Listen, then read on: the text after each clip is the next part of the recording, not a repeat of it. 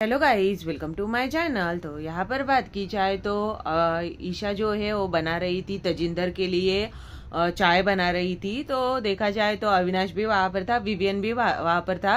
तो इन दो, इन दोनों के लिए चाय बना रही थी तो अविनाश जो है वो बोल रहा था, मेरे लिए भी बनाओ। तो बोल भी रहा था कि मैं भी तो मैं भी तो बनाना सीखना चाहता हूँ। तो देखा जाए तो अविनाश और ईशा जो है, वो चाय बनाते हुए नज़र आए और विवियन जो है, वो भी बात करता हुआ नज़र आया। विवियन विवियन जो है, वो बोल रहा था कि तुम दोनों काफ़ी अच्छे लगते हो, साथ में तुम दोनों की दोस्ती काफ़ी अच्छी लगती है। तो गई देखा जाए तो विवियन के साथ भी ईशा बैठती है वैसे, लेकिन जैसा अविनाश के साथ बातें होती है, वैसे विवियन के साथ नहीं होते हैं।